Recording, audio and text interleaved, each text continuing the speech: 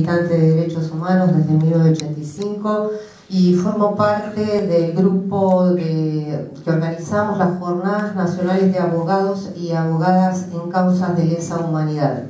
Este es un grupo de cinco, cuyo referente es Pablo Yonto, creo que todos lo conocen. Eh, nosotros organizamos, vamos por las segundas jornadas nacionales, eh, la, última jornada eh, la realizamos el 4 y 5 de abril. El objetivo de estas jornadas tiene, en principio, eh, formar una red nacional en donde los compañeros abogados, querellantes, estén en contacto permanente, sobre todo para, para la situación que en el interior se vive respecto de estas causas en donde sufren ellos bastante soledad. Eh, y como objetivo de estas jornadas también es el poder eh, debatir entre todos las problemáticas y elaborar estrategias para llevar adelante acciones para la aceleración de las causas de lesa humanidad. Eh, en el último encuentro, uno de los temas a debatir fue el tema de la responsabilidad civil. Todos sabemos que este gobierno ha impulsado el proceso de justicia y en este sentido hoy hablamos de dictadura cívico-militar. Por lo tanto, las imputaciones se han ampliado a agentes de la sociedad civil, como funcionarios, como jueces, como médicos, como sacerdotes, como empresarios.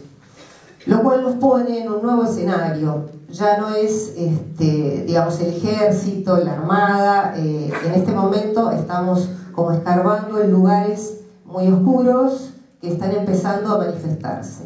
Los abogados y abogadas, además de las víctimas, están sufriendo persecuciones y en este sentido nosotros hace poco se, llevó a, juicio al juez Pedro Hoff. Eh, sobre esto el jury en la provincia de Buenos Aires le restituyó sus fueros eh, y bueno, un poco a propósito de este caso en donde compañeros de Mar del Plata están siendo perseguidos no solo por la corporación judicial, sino también por la, corporación mediática.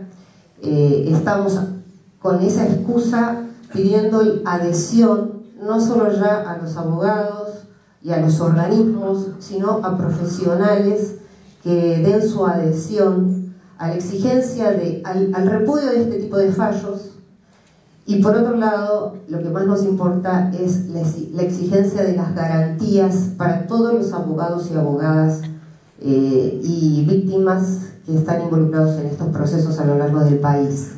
Eh, la mayoría de los abogados que están reunidos en este grupo, que forman hoy 140 abogados y abogadas, son jóvenes.